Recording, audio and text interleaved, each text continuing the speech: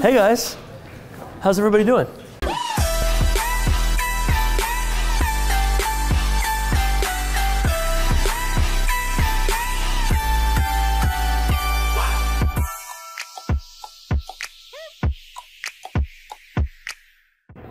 So I would be, before we get kind of jamming on the presentation, I just want to quickly hear your name and why you're here. Uh, Mike Reynolds. Uh, we have a complicated product to sell, and I need to find a simple way to describe it Cool. in a short video. Uh, I want to learn how to pitch to investors to raise money. Cool. My My name is Lolly. I'm Yeah. here to learn. What do you have to say? Cool. No pressure though. I am Sydney, and I'm just hoping to make a story to sell better to my clients. Cool. I'm Lauren. Um, just to learn different ways to sell uh, products. Awesome. Wh- Who are your clients? Tenants. Tenants. So you're in real estate? Yes. Okay. Hi, I'm Ying. Hey. I'm here to learn how to attract more customers. Attract more customers. Doing what kind of business do you have? Well, online psychological counseling, Cool. My name is Rahul. I'm just here to learn how telling a story can make you. Awesome. Love that. My name is Yu Shan. Uh, I'm running a startup called Chuhu. It's an online platform where users can easily customize their home meals for local chefs. And I'm looking for getting more strategy on telling customers stories to get them. Home meals for lo- from local chefs. Yeah, like customization. Cool. Love it. Yeah. Hey. Eduardo. Eduardo. I head a creative for a creative agency. An agency, and I'm working on a rebrand with my senior leadership. Great, perfect. All right, so cool. Did we miss anybody? No, good. Everybody's awesome. Oh man, it was so funny. I was walking in tonight, and he's like holding this sign up, and he's like, "Are you here for the event?" And I was like, "I'm him," and he's like, "Awesome." that's me. That's my name on the screen. So um, I'm super excited. It's a diverse crowd. First of all, thank you so much for spending your um, what night is it? Tu- Tuesday night with us here. It's late. I know you could be doing a million different things, so I really appreciate your hour. I will make it as valuable as possible. I'm going to kind of jam out for 20 minutes, 30 minutes, talking about what I see in the branding, storytelling world, marketing world. Talk a little bit about the experience that I had that kind of like brought me here, and then I really want to take the last 15, 20 for like very individual questions. Um, what should my first 10 seconds of a video sound like? You know, how do I find more real estate clients? Uh, how can I use a brand to attract more real estate clients? What are some Facebook strategies for B2B sales? All of these things are things that we think about all the time. Um, as Sid or Santa or so many introductions, I'm very grateful. Um, said we, we have a marketing, communications, and branding company here in New York City called the Life in Shorts. We're actually everyone's like when we call them we're like hey we're here with the life insurance. And like i don't want life insurance. So we're thinking through rebranding the name as well. Um, but um, we, we service a number of different clients ranging from some of the biggest tech brands in the world twitter linkedin uh, credit karma to startup companies that are raising vc funds or trying to get new users to the entrepreneur that says i have an idea and i want to be able to monetize it but I don't really exactly know the steps or the process or what I should be thinking about when I'm creating a brand. Um, and so we do all of those for clients. And then I get invited to speak all over the world about this idea of marketing, branding, storytelling, communications. So, um, and it, it's, it's all the thing that I like about the thing that we're doing is that, you know, you guys know this, there's a lot of speakers out there, right? And there's a lot of speakers that are basically talking about things that they're never really implementing. They just heard something and then they start saying it. And so the thing that I really pride myself on standing in front of you tonight is that everything that I'm going to say to you, we've either tried on our own brand or on brands of our clients, and we've seen some degree of success. Um, so really quick level of you know, kind of to level up the background of wh- who I am and how I ended up here. I'm a guy from the middle of America, Peoria, Illinois. Anybody from the Midwest? Nobody from the Midwest. This never happens. You, South Dakota is not the Midwest, but that's awesome. When I graduated from law school, I thought to myself it'd be very cool to become the mayor of New York City. And that was kind of a large motivation as to why I went to law school. And what I quickly realized was that at 26, I wasn't going to become the mayor of New York City. So the best thing to do would be to go work for him. So I worked for Mike Bloomberg's reelection campaign in northern Manhattan, and we I was in charge of recruiting volunteers. And so that was kind of the first taste that I had of the power of the story, right? Because if you're asking someone to give their time for free for you for four to five to six months, you have to be very clear as to why that's worth it for them. So there was a whole lot of different storytelling elements happening, and that was the first time that I saw, wow, there is real value in story. We ended up recruiting a ton of people, like 600 in the course of four months. Bloomberg and his chief of staff, his campaign manager, Bradley Tusk, called me into the office after the election and said, You were amazing. We want to keep you in the administration. What do you want to do? And I said, I want to do speech writing. I want to do storytelling. So he paired me up with one of his commissioners. We did, I worked with him for two and a half years, a lot of speech writing, a lot of storytelling, etc. What I realized was my skill was taking a lot of information. You know, they would give me 50, 60, 70 different pieces of paper and say, turn this into a two to three minute talk right? Probably some of the similar stuff you guys are dealing with, figuring out what is the creative. There's so much information. How do we get it? The people that don't understand what I'm saying, how do I, right? How do I get that thing? So that was kind of an aha moment for me, and I thought to myself, well, if the politicians of the world need this, then certainly the business people of the world also need this. What I realized was there was just a lot of people that didn't have a clue how to tell a story. So that's kind of what I've been able to figure out. And I'm going to talk to you guys tonight about kind of the three big opportunities that I see right now for all of us from an array of different experiences in the branding marketing world. Okay? Does that sound good? Questions so far? And if you guys have questions throughout, feel free to just throw the hand up. This is super informal. So, there's a few different things that I think is important. Number one, I think that people are missing a huge opportunity because we don't fully understand a critical difference in what is the difference between what is branding and what is sales. So many people confuse the two things. And so, if you are a solo entrepreneur or if you're working for a creative agency, what I'm about to tell you is super important and apply it however you can to your own situation. But there is a massive difference between branding and sales, right? So many people, and, and I want you to literally think about your social media right now. So many people are using social media to sell things, which I'm a huge fan of. I think social media is an incredible place to sell things. The problem is, most of your companies or most of your personal brands are disproportionately outweighed on the selling things versus the giving value.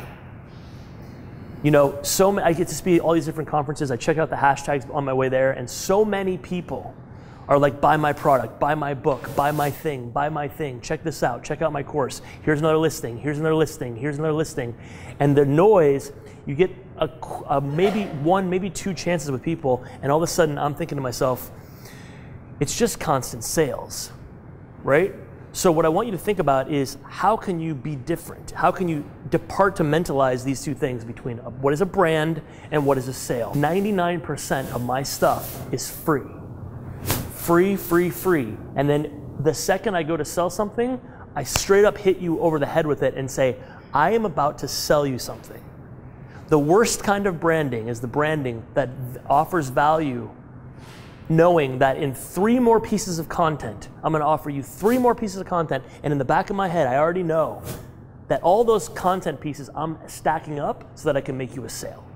When your value proposition, when your, val- when your intent to be valuable is in the back of your head because you know that in one week or one month or three months, you are calculating and you are manipulating to know that I'm going to make a sale in one to two to three emails, you're not branding, you are selling.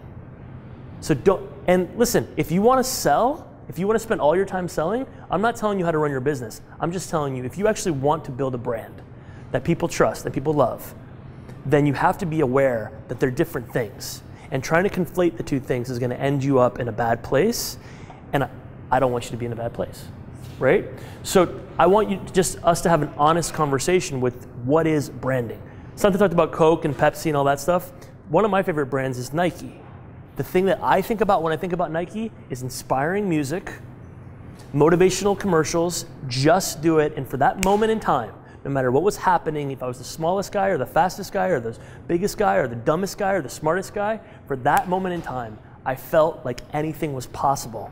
And so when I walked into Foot Action or Foot Locker or whatever, I would look at the Nikes and I would look at the Adidas's and I would look at the New Balances, but New Balance and Adidas and Under Armour and all these different brands didn't ever make me feel like I could just do it.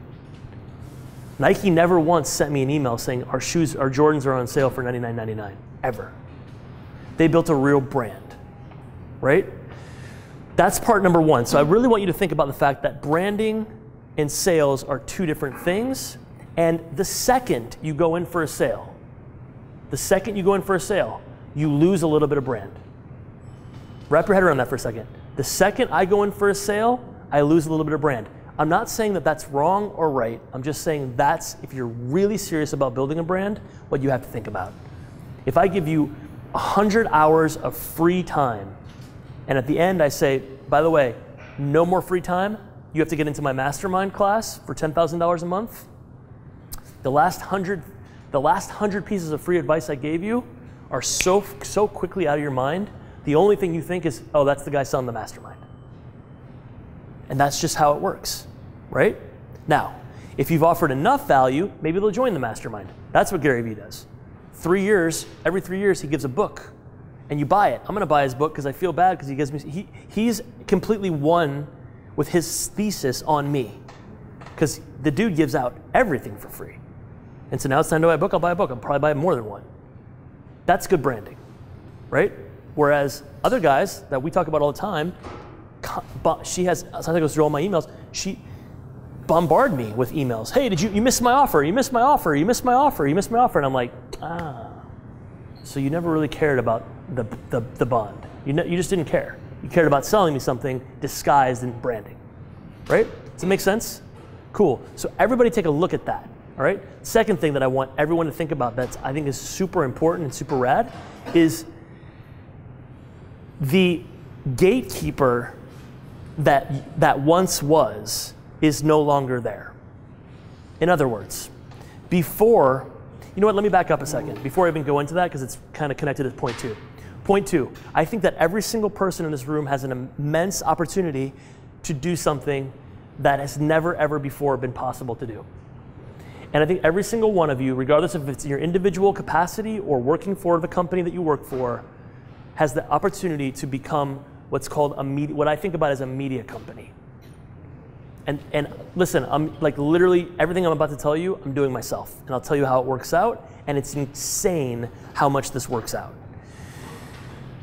Right now, you have to understand that the person you're trying to get to is so busy and is so ADHD and is living in different places, right? If you're trying to go B2B sales, they're in LinkedIn or they're on Facebook. If I'm trying to get to like, I don't know, influence tenants, like I don't making this up for you, but like they're on Instagram, they're on Snapchat. So they're on all these different places, right? The question becomes then, are you? And what I can almost guarantee is that a very small percentage of the people in this room are everywhere. And when I say everywhere, I mean on Facebook and LinkedIn and Snapchat and Instagram and a podcast and, and, and doing a Medium article and doing a blog and doing a vlog and doing everywhere. Now, you might think to yourself, but Brian, that's so much information overload. But the truth is, you're in one place and you're in another place and you're in another place and you're in another place. And even if I'm in two places or three places, I'm not going to organically see your stuff anyway. So you have to you have to understand the algorithm that Facebook is smart enough and Instagram is smart enough to not bombard their users because it's why Twitter is now losing relevance com- compared to Facebook and Instagram because Twitter didn't figure that out. Yes, tell me. Um, Melanie, Hey, Melanie. that ratio of that time you're talking about, is it worth it at all to throw out that push marketing as a piece of that branding, or should we just pull that in completely and keep building on the other? It's a great question. I would I would think about it like this. Use all that content to lead to the conversation. Right? Like I'm still I'm a big fan of marketing. I'm a big fan of like getting in front of people. I just think you can use it. So give me specifically what do you do? I just did a massive email blast Yep. to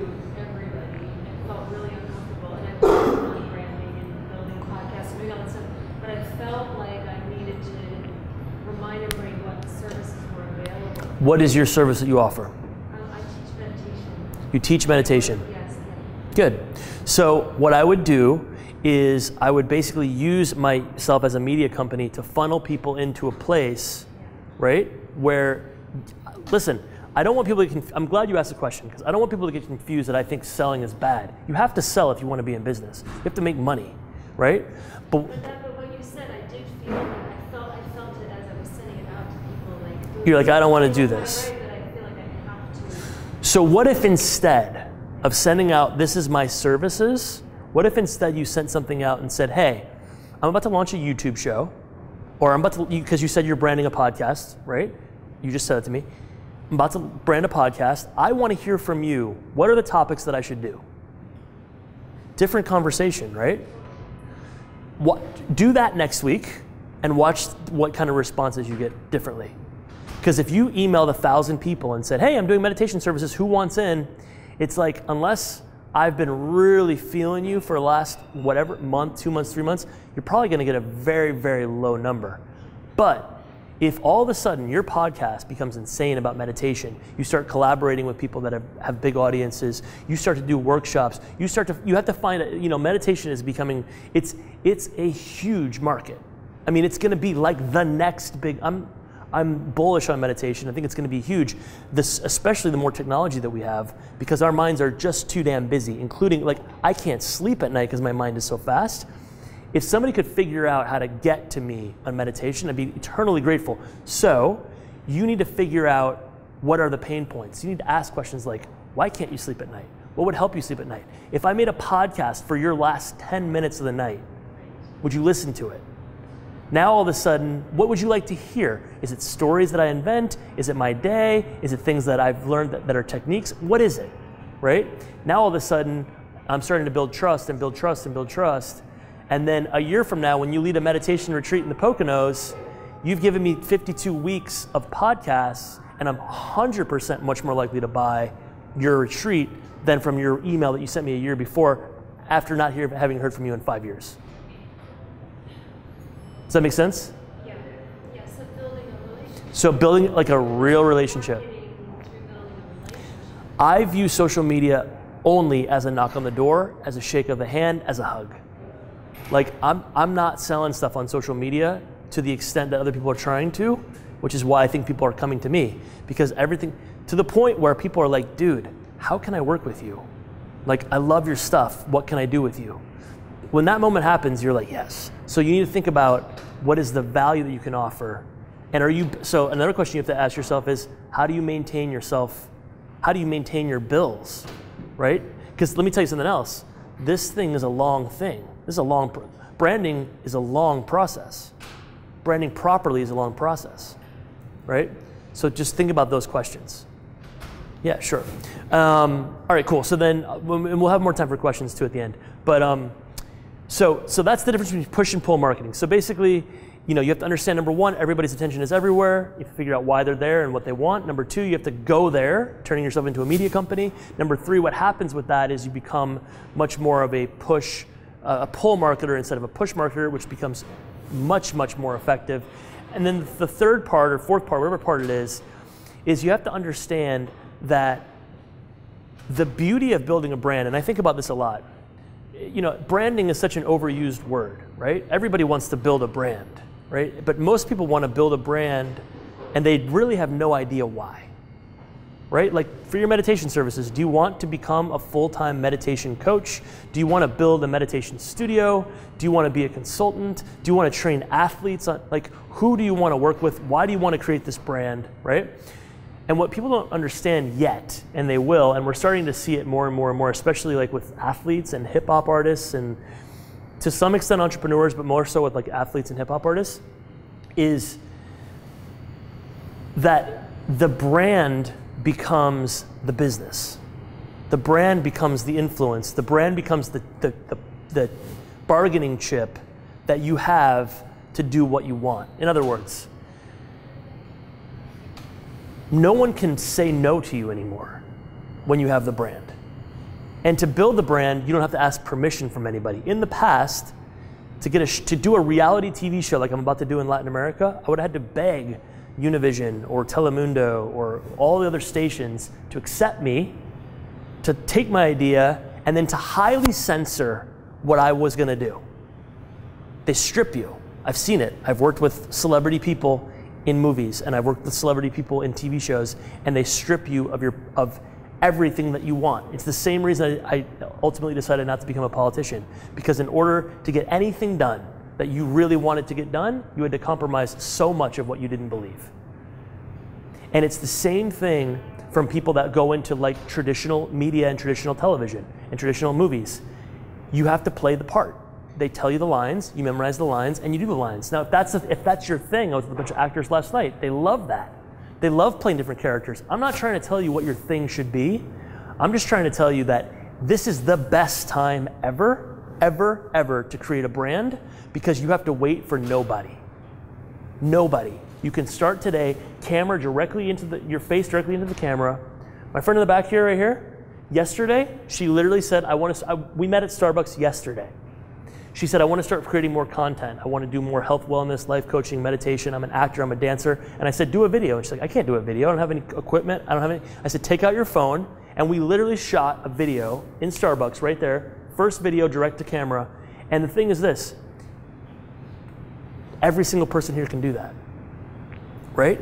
And so stop waiting for anyone to tell you what you can and cannot do maybe even including your director. Like there's just ways to, to, to bring these things up. And then, so that's really what, I, what I'm obsessed with. Um, and then also you have to understand the, the, kind of the last piece of this talk before, I, and I do want to get into like very, very specific questions with you guys, is you have to understand that Facebook right now is just, is an incredible, incredible platform to do what you want to do, whether you're in a B2B or a B2C environment, because the Facebook ad product is so so sophisticated. Let me just show you this, guys. I did a video a month ago in front of a Christmas tree down on Wall Street, and I put that up, and I spent like $13, $14, $2 a day for two weeks. And I targeted very specific groups of people in my hometown, Peoria, Illinois. The video within three days went completely viral. And I got invited on local news, I got invited on local radio, I got featured the next day on the news. The mayor of the city of Peoria emailed me.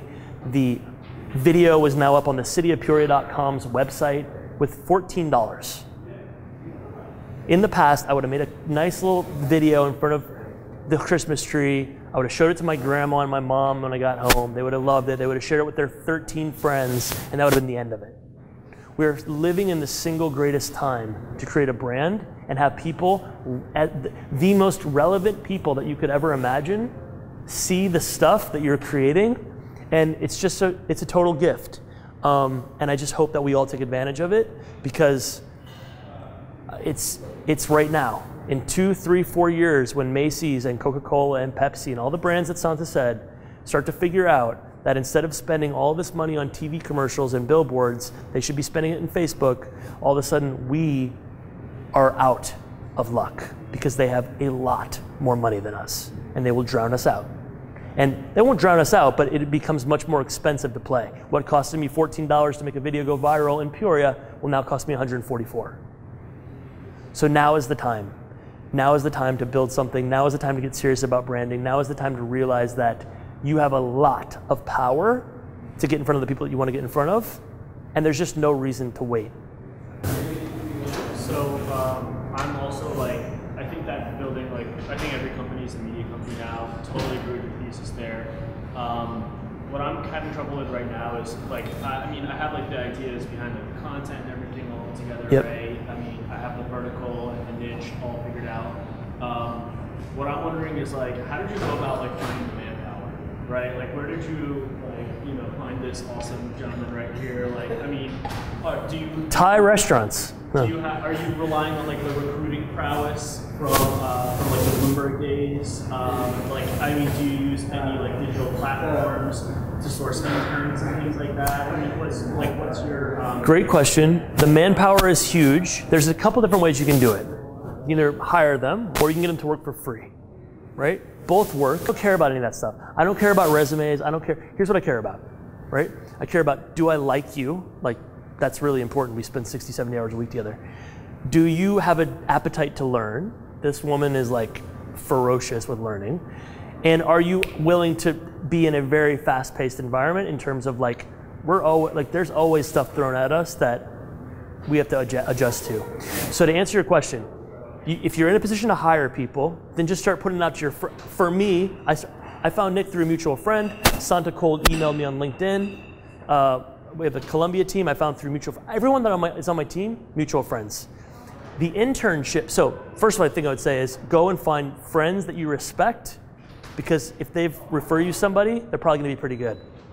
Um, I think that you know the typical traditional recruiter thing it works. I just have never done it, so I can't really speak to it. The intern piece is interesting because we've had kind of a revolving group of interns for the past year, and some of them have been um, from university, and other people have been out of university. But I, to be honest with you, I have no idea how we got. How did we get them? She, she, yeah. How did you get them? Uh, I just created a relationship with career service people. Career service people. Yeah. Cool. So career service people from universities. You know, here's the key, and and and you can fake this, but you'll get caught.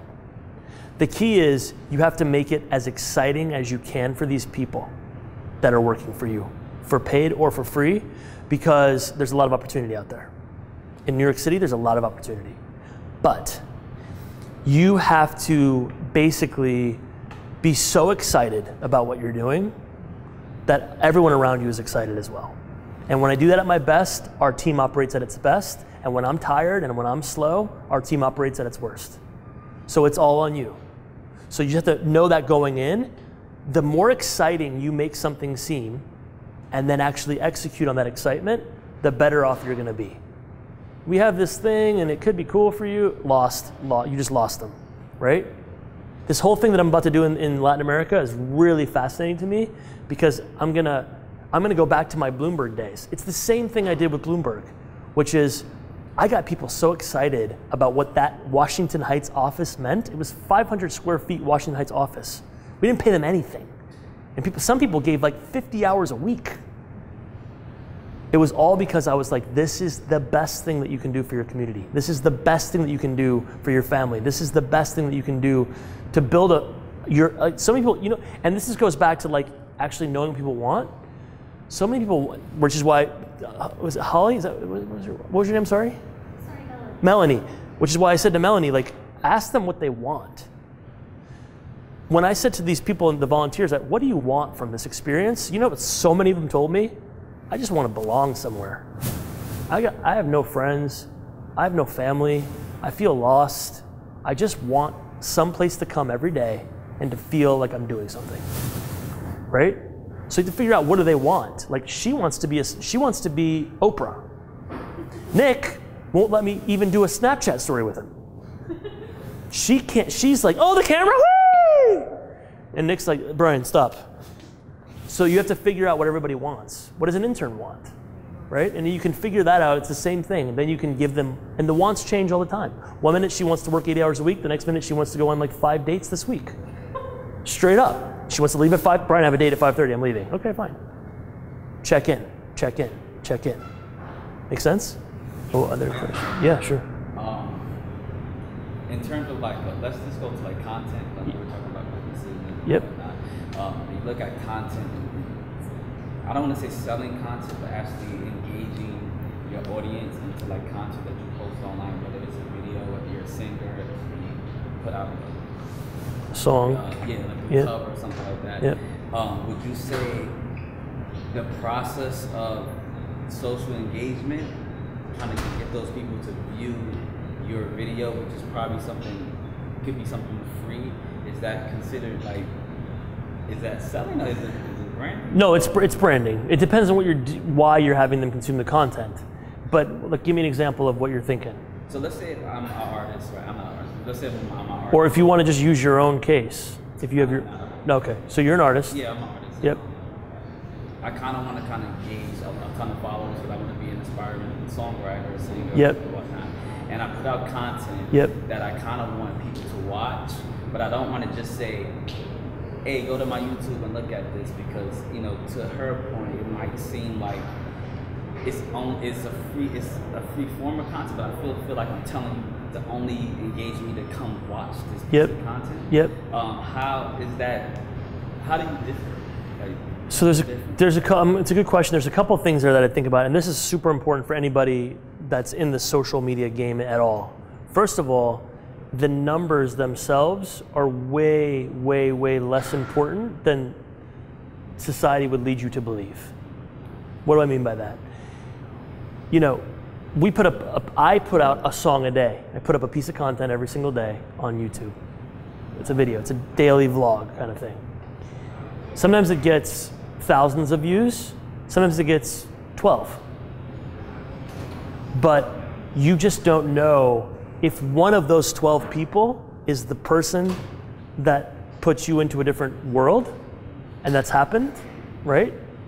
We've had crazy opportunities come from one person that watched a YouTube video that got 22 views. So don't get caught up in the numbers game. It really is, uh, it's a myth that that matters so much. So, and by the way, so many people are buying followers.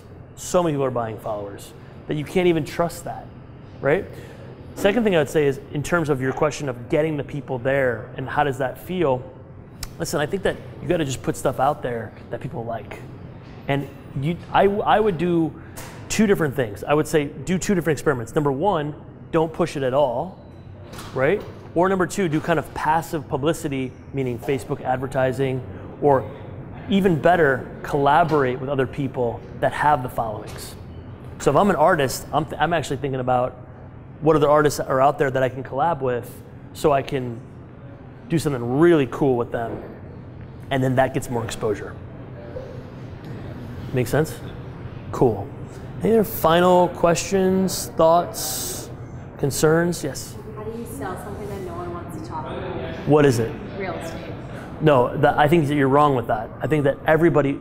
So, how do you sell it? How do I sell? Yes. What are you What are you selling? Well, it depends if I'm trying to get their business or if I like represent the landlord. So what? Okay. So if I'm representing the landlord, it's easier because I can say like, I have this opportunity. Would you like it?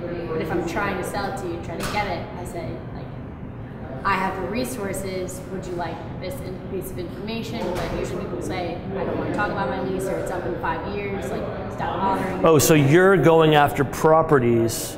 No, potential tenants. So people in a building that I see their leases up, so we either want to move them or help them renew. But most of the time, I find that people just don't want to talk about it or don't want my help. The people that do want to talk about it, mm. why do they want to talk about it? What are the things that are interesting to them about this conversation? Um, So first of all, the, the ones that are like, I don't want to talk about it. All right, nice to meet you. Ciao.